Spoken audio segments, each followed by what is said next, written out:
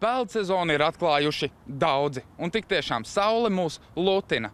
Taču, diemžēl, šogad jau ir noslīkuši 40 cilvēki, kas liek uzdot jautājumu, vai mēs, protams, palīdzēt tiem, kuri ir nonākuši nelaimē uz ūdens.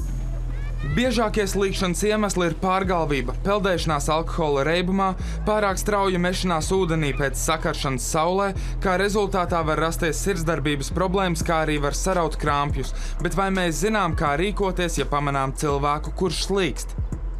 Nu, labs jautājums. Provokatīvs. Nu, jā, bet kā Jebkurš, rīkoties? jebkurš cilvēks laikam, laikam mēģinātu viņus izglābt, ja, ja, nu, ja viņš jūt, ka tas viņam paspējām. Ja. Bet ko jūs darīt? Ņemtu kaut ko palīgā vai kā vai ko? Nu, kā kameras ņemšu palīga, tad jau žārīja gaļu, kas saka. Nav ko, nav ko tur glābt. Nu, man liekas, ka tas ir spontāni. Tā iepriekš nevar izrēķināt. Bet nu, jūs ņemtu kaut ko palīgā, vēl kādu sauktu vai Ņemtu, kā? protams, Nu, protams. kas būtu tā Nu, darbība? Kaut kas ir pieaugušie, tie, kas mēs esam, ietu palīgā, draudzīgā saimē.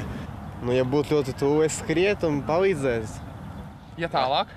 Ja tālāk, ja ļoti tālu, nu, ja es zinātu, ka es neaizpeldēšu, es zvanītu palīdzību. jā. Skaidrs, bet tepat tā kā, nu, cik tālu jūs tā kā mestos pats ūdenī? Nē, no kur cilvēki peldās, es aizpeldētu. Ja?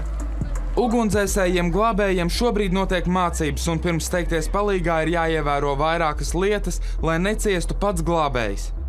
Mums bieži vien nākas arī meklēt jau divus, gan glābjamo, gan glābēju. Cilvēki šobrīd ir tehniski jau labāk aprīkoti, lai paziņotu glābējiem. Un tas ir pats galvenais, kas ir jādara, ja redzam, ka cilvēkam uz ūdens notikusi nelēma. Vai tas cilvēks slīkst, vai ir apgāzusies laiva un redzam. Tas nozīmē, ka telefons 112, tas ir pirmais, ko izdarām, un pēc tam mēģināt glābt. Mēģināt glābt mēs varam tikai tad, ja mums ir kāds palīga līdzeklis blakus.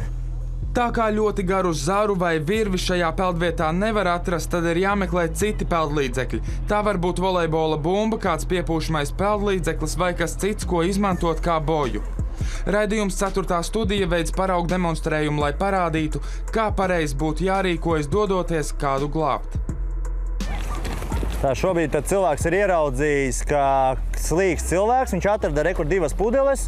Nu, praktiski šobrīd tās eh, divas pudeles izpildīs bojas eh, principu. Pieliekot palībā, padusēs, ja šobrīd viņš ar viņām reku mēģina peldēt. Jo, kā jau teicu, bez kādiem palīga līdzekļiem, tuvoties cietušajiem, ir bīstami. Tikko piepeldiesim cilvēku klāt, mums nebūs jāsatraucās, kā viņu aptvert. Jo tas cietušais dzelzceļa tvērienā aptvers cilvēku. Un tas nozīmē, ja tik, tikko piepeldēsim klāt cilvēkam, kurš slīks, viņš automātiski neatkarīgi no radniecības stāvokļa, no draudzības pakāpes, viņš uzskatīs tevi par peldu līdzekli, kuram var uzkāpt virsū. Tas nozīmē, ka peldēt bez nekā klāt cilvēkam tas ir bīstami. Jā, bet divi ir, kur viņi jau sarunājas. Saku, tas jau nomierinošais efekts jau vien cilvēkam bieži vien iestājas ūdenī panika.